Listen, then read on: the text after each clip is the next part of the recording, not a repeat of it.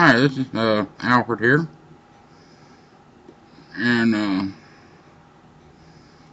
this is my entry into the Aristocob 2014 International Corn Cob Pipe Month video contest.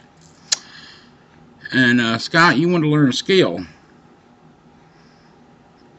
So I'm going to teach you a little something that I like to do and uh, I've done a lot over the years. Uh, as a gunsmith. And we're going to learn how to polish a feed ramp. So, uh, what I like to use is Mother's aluminum and mag polish. And uh, does a great job. Now you may be asking what is a feed ramp? Well, feed ramp is a ramp here just for the barrel. And the magazine would be here and as the slide comes forward the bolt face pushes against the round and up into the chamber and the feed ramp guides it up in and uh, you may want to know why does it need polishing? Well, to make it smoother, more reliable.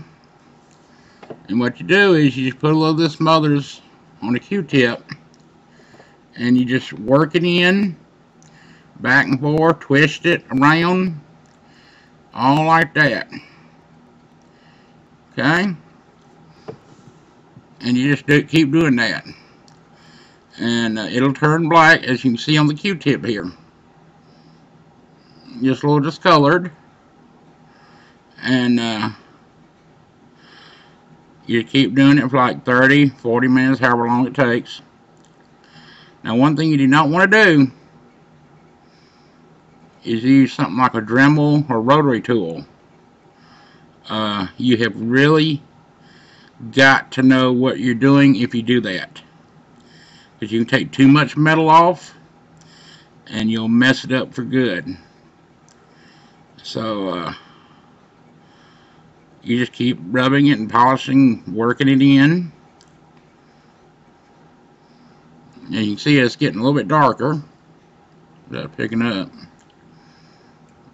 And then, what you want to do, once it gets all polished up like that, is take you a either a clean Q-tip or I use some of these uh,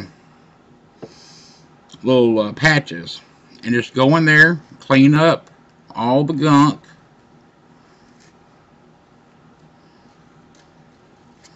where you can get a good look at it. And uh,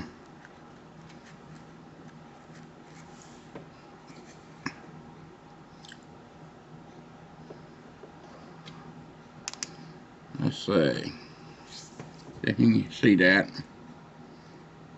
Picking up or not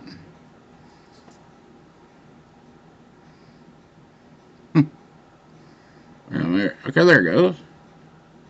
You see the feed ramp a little bit better. And uh,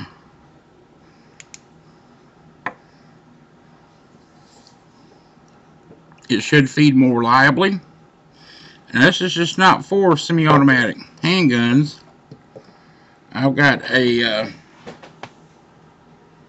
uh, 03 Springfield I got to work on for a friend of mine that was gutted. And there's a feed ramp in here also. It also needs everything built, rebuilt. Uh, someone tried to sporterize it and it they really just gutted it. So I basically got to rebuild that one.